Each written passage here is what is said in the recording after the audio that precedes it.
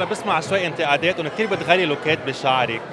معقول هذا الشيء بيأثر سلبا للناس تعرفك أكثر انت وباقي أنت وعلى الطريق بالمول عم تاكلك بالكافيه؟ أنا ما بعتبرها انتقادات إنه بالعكس الممثل لازم يغير. إنه مش مفروض الواحد كل مرة عم يطلع بنفس ال look بالمسلسل أو إنه خلص هاي رولا رولا رولا نفسها.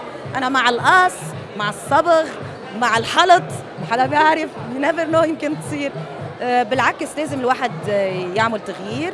لحتى كمان يقنع المشاهد وممكن كمان الشخصية هي بتتطلب إنه أنت يكون لون شعرك بهيدي الطريقة.